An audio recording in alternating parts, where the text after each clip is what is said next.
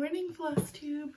Welcome back. It is our Flosstober series where we are unboxing the Black Needle Society's Trick or Treat Halloween Countdown box. Yesterday we opened the fabric for our fourth kit. So I'm pretty sure today we're going to be opening the flosses. That's been the pattern with all the other kits. So it's day 24. It's very exciting. Let's dive right on in. Yep, it is. Oh my gosh, and there are a bunch. All right, so it looks like, yep, all DMC. So I'll show you what I've got.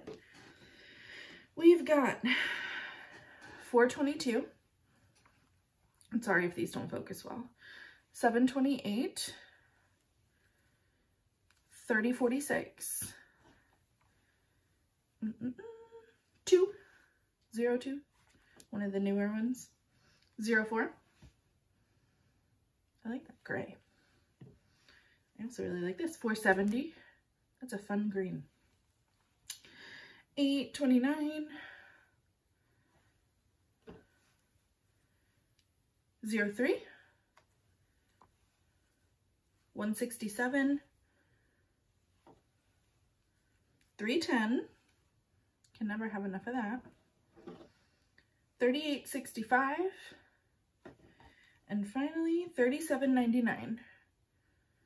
So lots of grays with some green and yellow and a black. I feel like it's like a spooky house or something. It's definitely like a, a scene. There's not a person for sure. Okay, so it also includes a card in the box. So each day we scratch off a pumpkin and it gives us more information about the item that we opened. So today it says Thread Pack by DMC, called for by the designer, fibers for your fourth kitted Halloween project.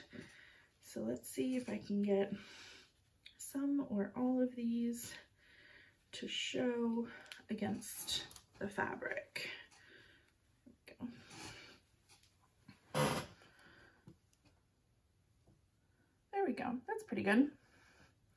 So I'd love to hear your ideas of what you think this kit is going to be because I do not know. And I don't even know who to begin guessing as far as designers. We've already had Bendy Stitchy, we had Autumn Lane Stitchery, and we had the Witchy Stitcher. So who else is there? Like who else do you think would be designing for Black Needle Society? I'm really excited. Maybe Frosted Pumpkin? They're kind of muted colors for a Frosted Pumpkin, but we'll see. Um, yesterday, I did help my sister move. She's all settled into her apartment, which is really, really exciting. She's a lot closer to me now by about 20 minutes. So she lives just 20 minutes away from me now, not 40. And she's like five minutes from my mom, which is really nice. Um, so it was good. We had a ton of help, so she didn't have to move around too much or lift anything because she's pregnant, so we didn't really want her doing that. So it was it was good. I'm exhausted today though, but I'm trying to shake it off. I've got to go grocery shopping and clean the house and run some errands. So just kind of a lazy Sunday here, taking it easy.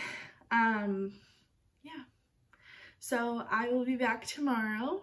It looks like we'll be opening the chart because that's usually been day three of opening kits. It's been fabric, floss, chart. So I'm expecting to open the chart tomorrow morning on Monday. And then Tuesday morning, you keep an eye out. I'll also have my weekly floss tube update with a special guest. So that'll be really exciting. You don't want to miss it. And in the meantime, if you have questions, reach out to me on Instagram. I'm at Cepha Sparkles. Um, you can leave a comment below. That really helps me out so people find my channel. Or you can email me. I'm cephasparkles at gmail.com. All right, guys. Have a great Sunday. Enjoy the rest of your weekend. Do something spooky and Halloweeny today. Bye!